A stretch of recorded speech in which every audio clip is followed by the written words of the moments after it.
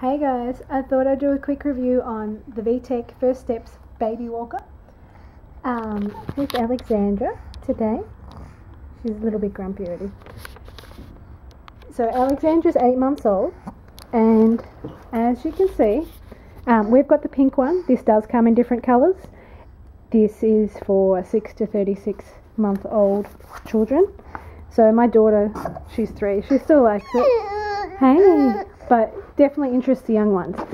So um, main features is it's got plenty to do. There's a button up top. There's this that spins. The butterfly moves back and forth. It's got the numbers 1 to 4 on different shapes and it's got A, B, C, D and E down the bottom.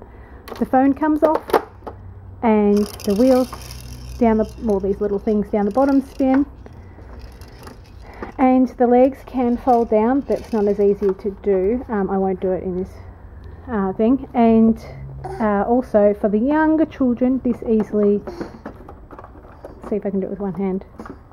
I can yes. With um, this clips off. So you could put it somewhere else for them to play with or lie down with. Um, so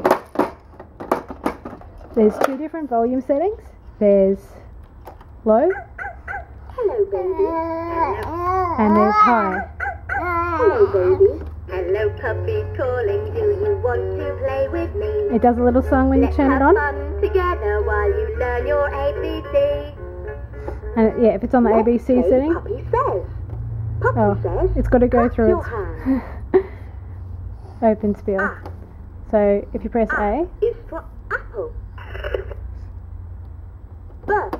so it does a whole bunch of different things. Do you want to hold the phone? Um, but yeah, it's definitely a favourite with my kids, and um, yeah, I definitely say the age bracket for it is correct. Six months to about three years is right.